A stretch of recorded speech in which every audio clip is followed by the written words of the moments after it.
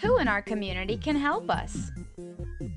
Luckily, Miss Richardson's grade 3 class at Central Public School know all of their community helpers. They decided to write, narrate, and illustrate a story dedicated to them. Community connected work, where students see first responders and members as superheroes, helps them see their community as important.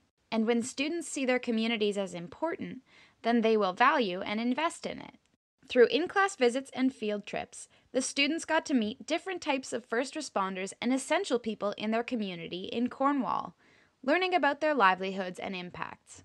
This encourages respect for those who work hard to protect and serve our communities, teaches valuable lessons about helping others in emergencies, and fosters community awareness and civic responsibility from a young age. But what about us? Here at Song Collab, we believe it's important to showcase the students' videos and art in meaningful projects where the students feel a sense of ownership and empowerment. Behind the scenes, our high school level co op students spent time with the class practicing reading for narration and carefully editing and animating the students' drawings. Can the students and their community help the aliens back to space? Find out on the Song Collab Studio YouTube or wherever you stream.